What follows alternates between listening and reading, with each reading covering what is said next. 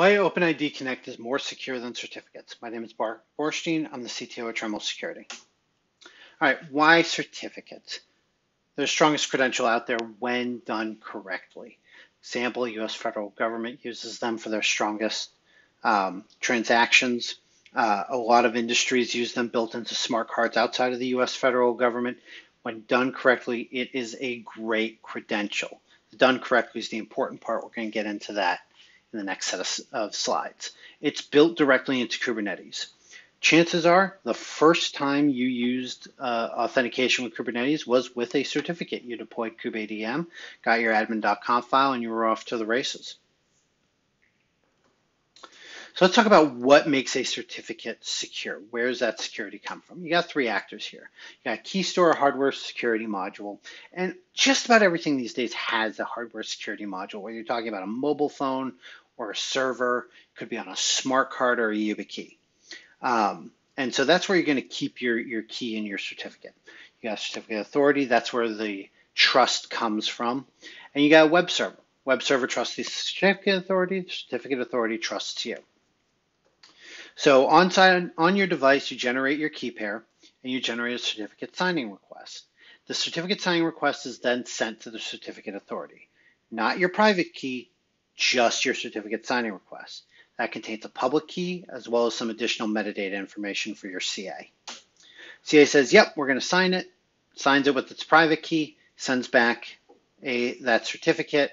You then ins install that directly into your key store or hardware security module. You're going to go interact with an application like the API server. You're going to establish a connection exchange certificates. At this point, the web server is going to tell you, hey, here are all the issuers that I'm going to trust. Give me a cert from one of these issuers. You present the cert, the web server is going to check a couple of things, including whether or not it's on a certificate revocation list. Identity certificates can be very long lived. For instance, those PIV cards, the certificates used by the US federal government, often have lives of five years because they want to keep replacing those cards. Uh, and so if somebody's contract ends, they retire, they leave their agency, their company, whatnot. For whatever reason, that certificate is no longer valid. Guess what? By dates, it's still valid. So if you want to make sure that nobody uses it anymore, you need to add it to something called a certificate revocation list. Gotta say this certificate has been revoked. That's how the web server knows, hey, even though this cert is still technically valid from a cryptographic standpoint, it should no longer be trusted. That all checks out, all the trust is validated, your handshake is established, you do secure stuff. At no point did your private key leave the HSM, and that's where the security of this comes in. The private key, the thing that makes this so secure, never left your HSM, which means in order to get access to it, they need to have physical, an attacker would need to have physical access to the HSM. So why wouldn't you use certificates? Well, for one, uh, there is no HSM support in kube control right now. Uh, PKCS11, which is the protocol that's used to talk to ha hardware security modules, is not right now supported by kube control. Um, that is changing. Uh, there is an open cap and somebody's being paid to build it, so I'm pretty confident that I'll make it in there in the not too distant future. Uh, now, even if you have that hardware security support, there is no CRL support in the API server. So even if you have access to that hardware certificate, that really, really strong certificate that you're using to identify users, you can't make sure that that certificate should still be trusted. Uh, there is an open issue for it. It hasn't really made a lot of progress. It also was called out as part of the Kubernetes security audit from a couple of years ago.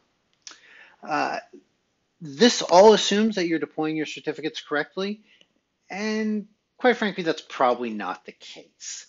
Um, I don't mean to call anybody's baby ugly, but if you're downloading your key pair, if somebody's giving you a conf file, uh, you're not doing it right. Uh, and so you're losing a lot of the security benefit there. Group management is really, really hard. Why are groups? You can do groups in a certificate. Uh, you can do it as an OU in the subject of the cert, but there are two problems with it. One, you can't revoke the cert. So if your groups change, the cert can't be revoked. Two, um, you don't want to say, okay, well, we're going to do it all with RBAC. Uh, you know, if you have five or 10 developers doing with the RBAC, probably not that big of a deal listing each one in a, a role binding. Uh, you have 50, 100, 1,000 developers in a large enterprise, it's going to get messy really, really fast. Um, you want to be able to do groups. And it won't work with the managed cluster. So if you're using uh, EKS, GK, whatever, certificates aren't even an option, not right out of the box. Uh, and they won't work with the reverse proxy. If you want your API server to validate a certificate directly, guess what? None of that network infrastructure that you have for TLS offloading is going to work. You need to have that direct connection. Now, there is kind of an exception to that. We'll get to that at the end.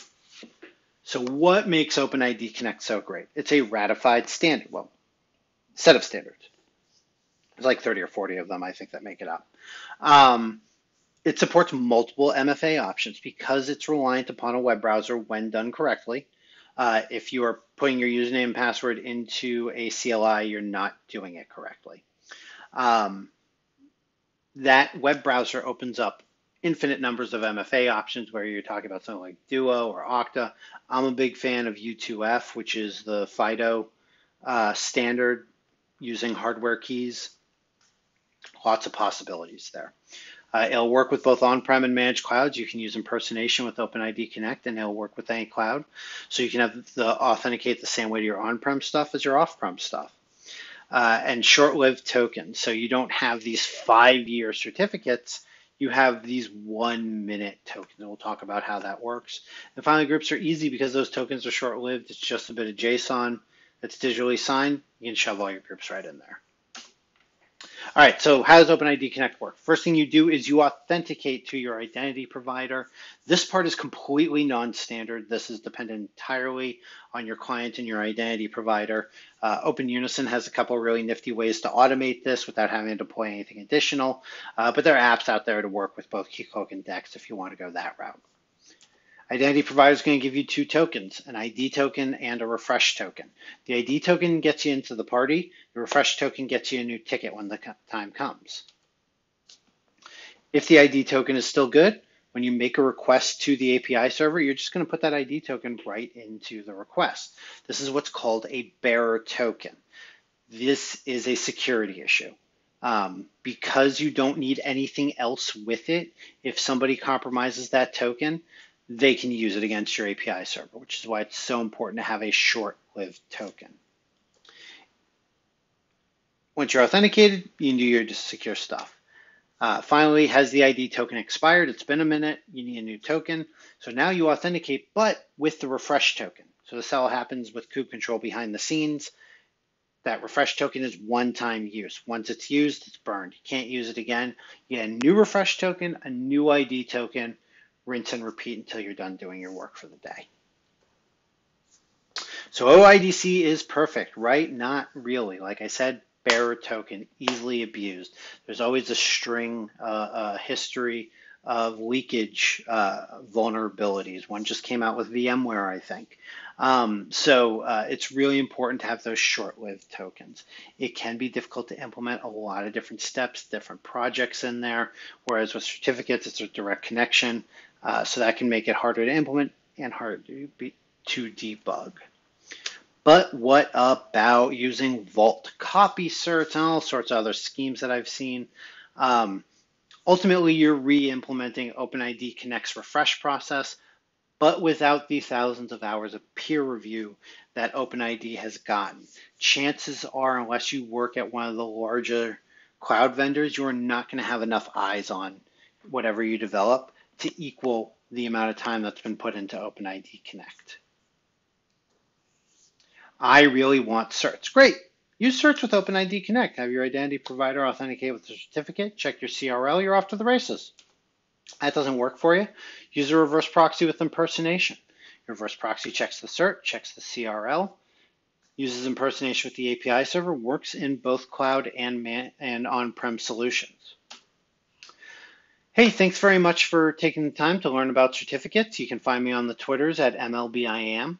And if you're looking for an OpenID Connect identity provider for your uh, Kubernetes deployment, take a look at OpenUnison. It's our open source project. OpenID Connect, SAML, LDAP, the works, multi-factor, all there. Thanks and ha- enjoy KubeCon.